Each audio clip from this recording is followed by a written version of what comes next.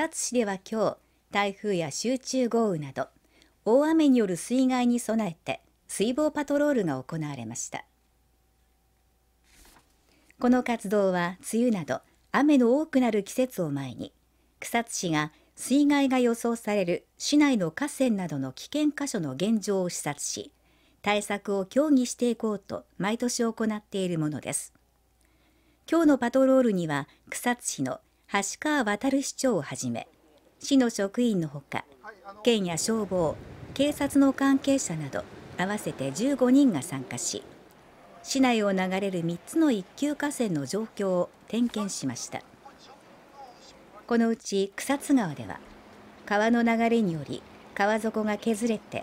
下流に土砂が堆積するのを防ぐため川底にブロックを敷き詰める工事が進められています。橋川市長は県の担当職員の話を聞きながら危険箇所の確認や点検をしていきました。滋賀県の方でしっかりと箇所あるいは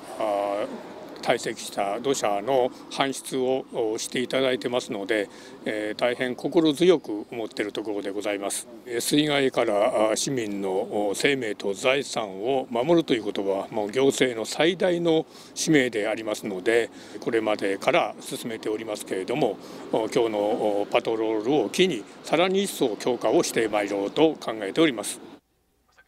草津市では今日のパトロールの結果を踏まえ改修などが必要な箇所については関係機関と連携しながら防災措置を講じることにしています。